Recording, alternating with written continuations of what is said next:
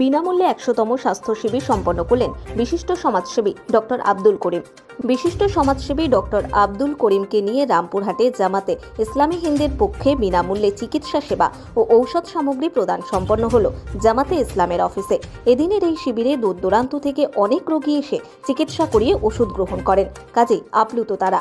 Doctor Abdul করিমের এই মানবিক কাজকে কুর্নিশ জানাই ওটু নিউজ বাংলা।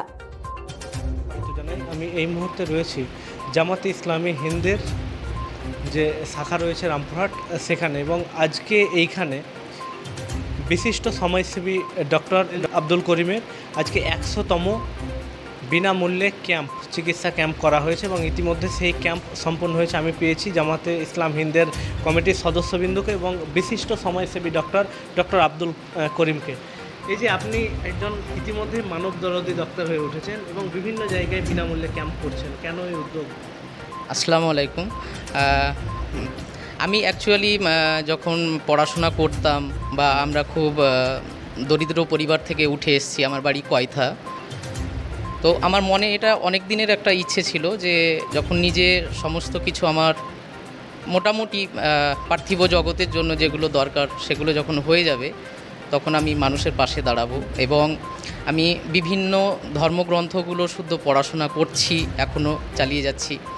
তো আমাদের প্রত্যেকটা ধর্মগ্রন্থেই কিন্তু মানুষের পাশে দাঁড়ানোটাকেই আমার মনে হলো, আমি যেটুকু পড়ে বুঝেছি যে এটাই আমাদের মানব ধর্ম।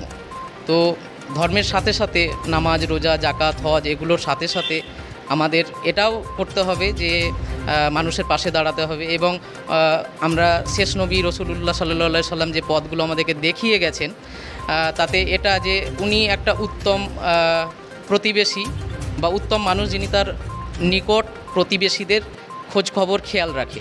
তো এই সমস্ত চিন্তাভাবনাগুলো আমার মনের মধ্যে একটা বিশাল প্রভাব ফেলেছে এবং আমার এখন মনে হয় যে আমি অনেকটা আল্লাহ তালা আমাকে যে সামর্থ্যটা বা ক্যাপাবল করেছেন সেটা আমি বিলীন করে দিতে চাই। তাই আমি বিভিন্ন গ্রামে গ্রামে, এটা টোটালটাই পরিশ্রম তো হয় অবশ্যই এবং নিজেরই খরচাপাতি। তো আমি চেষ্টা করেছি এবং একে একে আমাকে অনেক সহযোগিতা করেছে। যেমন আজকে আপনারা, অনেকে যারা ব্যবস্থাপনা করে, তারাও, তাদের প্রতি আমি ই করছি যে আল্লাহ তাদেরকে আরও হেদায়েত দেখ, আল্লাহ তাদের উপরে রহমত বর্ষণ করুক, যে আমাকে এইভাবে তারা সাপোর্ট করে, বিভিন্ন গ্রামে নিয়ে যায়, এবং তারা সারা সারাটা দিন অক্লান্ত, তারাও পরিশ্রম করে। আমি তো পেশেন্ট দেখি, আমি তো বুঝতে পারি না। কিন্তু তারা ডাক্তারি ফ্যাটার্নিটিতে না হওয়া সত্ত্বেও তারা যে সারাদিন আমাকে সাহায্য করে, এটা আমার ক্ষেত্রে কিন্তু সত্যিই খুব গর্বের বিষয় এবং গর্বের ব্যাপার। আর আমি মনে করি যে, যখনই আমরা কখনো ভালো কাজ করি তো এটা হচ্ছে যে আল্লাহ তালা আপনার পাশে থাকবে। যেমন আমাদের সুরা নাসর একশো দশ নম্বরে আছে যে এজা জাহা নাসরুল্লাহে অল ফাতহ। কি আল্লাহর সাহায্য যখনই আসবেন, তখনই তোমার বিজয় লাভ হবে। এছাড়া সুরা সাবাতে তেরো নম্বর আয়াতে আছে নাসরুল্লাহে মিন অল ফাতহ নাসরুম মিনাল্লাহে অল ফাতহু। কে আল্লাহর সাহায্য ব্যতিরিকে তুমি কখনোই বিজয়ী প্রাপ্ত হবে না। তো আমাদের আমার মনে হচ্ছে যে আজকে সত্যি আমাকে খুব গর্ব লাগছে যে একশোতম ক্যাম্প আমার আজকে হয়ে গেল বছর খানিকের মধ্যে।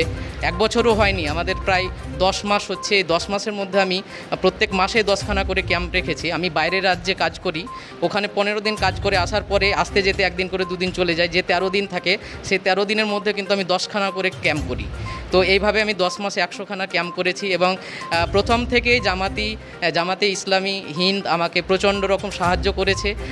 যেমন বিশেষ করে ডক্টর আমিন আহমেদ সাহেব এবং মোহাম্মদ আসগার আলী স্যার এবং আরও অনেকে আছেন বয়োজ্যেষ্ঠ এবং আমার সমজুটি যারা যারা আমাকে প্রচণ্ড রকম হেল্প করেছে এবং আজকে আমাকে সৌভাগ্য লাগছে যে যেখান থেকে আমি উঠেছিলাম প্রথমে রামপুরহাটে, এই জামাতি ইসলামিক হিন্দি আমাকে জায়গা দিয়েছিল।